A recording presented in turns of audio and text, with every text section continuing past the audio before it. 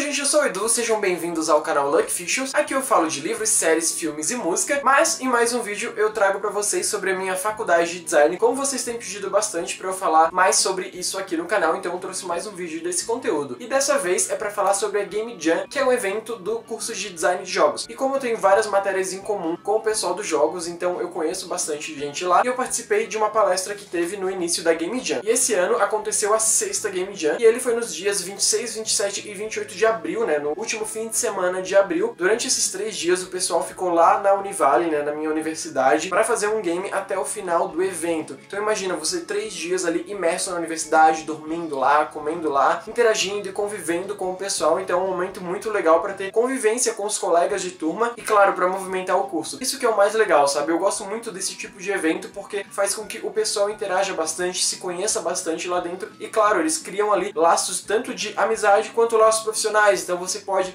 sair de um evento ali montando uma startup de repente, né? Ou criando um grupo mesmo, ou para criar um jogo, ou para jogar um jogo, né? Então realmente cria essas amizades, esses laços que eu acho muito massa. E aí teve a palestra inicial onde foi escolhido o tema. Puxa som puxa som.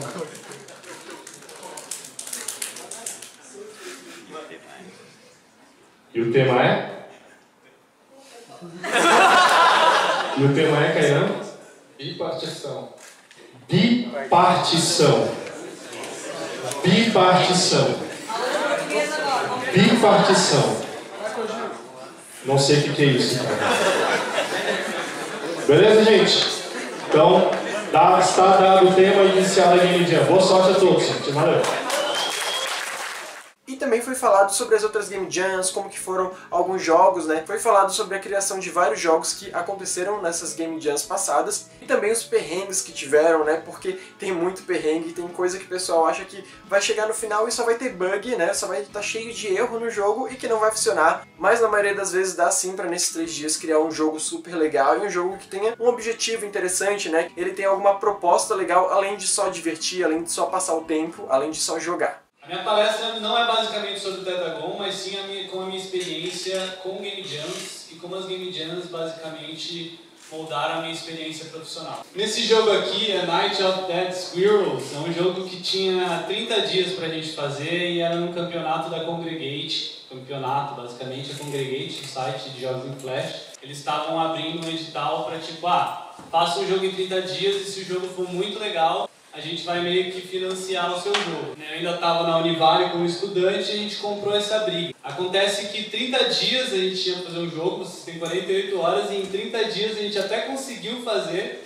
mas saiu tipo super bugado. Era um jogo tipo muito difícil, muito bugado, até um tanto bonito, mas o que leva de aprendizado é que quando você termina qualquer jogo, você ganha uma experiência tremenda, que é a experiência de ter vivido e passado por todos os processos até a conclusão desse produto.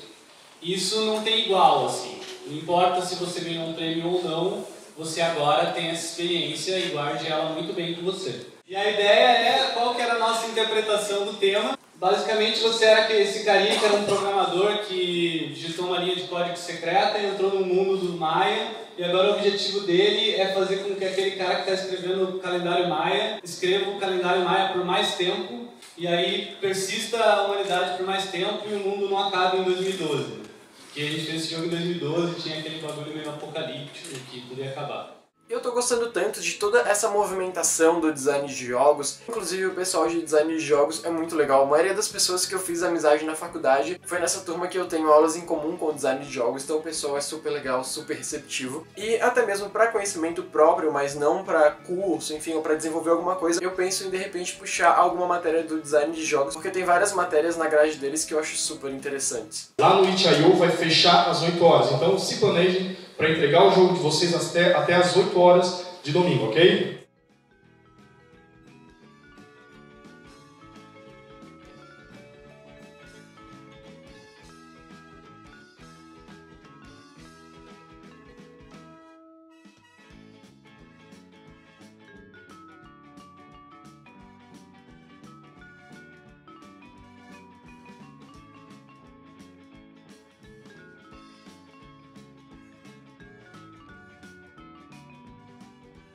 E chegando ao final da Game Jam, né, quando termina, como tem vários patrocinadores, tem prêmios para as colocações, né? Então, o jogo que ficar em primeiro lugar, em segundo, em terceiro, tem os prêmios. Eu acho isso muito legal porque é uma recompensa também mais física, né? Uma recompensa ali monetária pro pessoal que ficou aqueles três dias empenhado em criar aquele game. Como eu entrei há pouco tempo na faculdade, tô no primeiro semestre, né? Então eu ainda não me situei tão bem de como estão acontecendo essas coisas, mas eu pretendo muito na próxima Game Jam participar e fazer de repente uma cobertura mais lá dentro mesmo, dentro da produção dos jogos, mostrando como que o pessoal tá fazendo e, claro, ajudar a fazer também, porque eu gosto muito de jogo. E se você quiser saber mais sobre o evento ou ver as fotos oficiais, né, os vídeos oficiais de como aconteceu lá dentro, eu vou deixar ali embaixo na descrição do vídeo todos os links para vocês. Se você gostou desse vídeo, não se esqueça de se inscrever no canal ali embaixo e também de deixar o seu like para ajudar o canal. Eu espero muito que veja vocês no próximo vídeo.